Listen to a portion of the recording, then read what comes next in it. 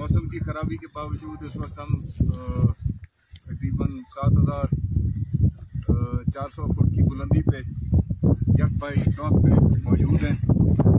और मेरे दाएँ बाएँ और पीछे अगर आप व्यू को देखें ये पूरी रेंज का, इस वक्त हाइस्ट पीक है। मुझे लग रहा है कि मेरे राइट हैंड साइड पे एक प्लेटो है। जो कि यहाँ से मुझे थोड़ा सा ऊपर लग रहा है लेकिन वहाँ पे रास्ता नहीं है। अभी हम लोग यही आपस में डिस्कस कर रहे थे कि कोशिश करेंगे नेक्स्ट टाइम उसको भी आ, सर करने की। लेकिन यहाँ पे आज मेरे भाइयों ने जिसमें पीरबख खान और उनकी सारी बिरादरी उनके दोस्त अहबाब ने हमारी बड़ी यहाँ पे खिदमत की और हमारी हमारी बड़ी हौसला अफजाई की।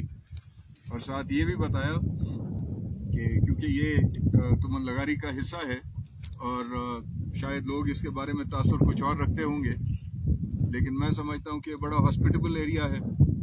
यहाँ के लोग बड़े मेहमान नवाज़ और बड़े खुले दिल और खुले जहन के लोग हैं और वेलकमिंग लोग हैं।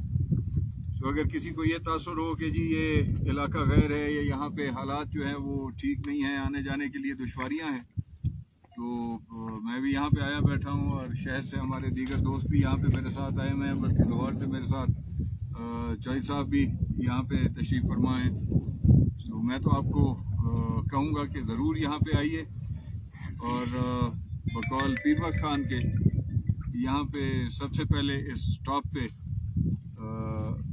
ज़माना कदीम में सरदार फारूक खान के दादा नवाब जमाल खान लगारी यहाँ पे आए थे।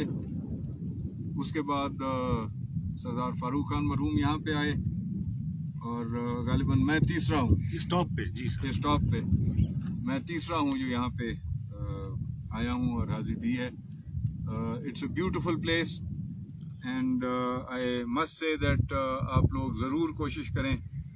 बजाय नॉर्दर्न एरियाज़ जाने के मरी और uh, पंजाब के वो इलाके देखने के। आप अपने इलाके को एक्सप्लोर करें और अपने इलाके की खूबसूरती देखें। अब मेरे पीछे अगर देखें तो आपको ग्रीन वैली नज़र आएगी सरसब्ज वैली नज़र आएगी। तीनों तरफ़ मेरे सरसब्ज वैली नज़र आएगी। पहाड़ से जब हम उस तरफ़ आपको दिखाएँगे, वहाँ पे इमीडिएट वैली जो है वो ग्रीन है, लेकिन उसके बाद आपको फिर जो कोसलमान की असल खूबसूरती है। खुशका जो है वो आपको नज़र आएगा, लेकिन उसमें पैचेज आपको ग्रीनरी के नज़र आएँगे but I must say that this place is amazing and it's a must visit place thank you very much.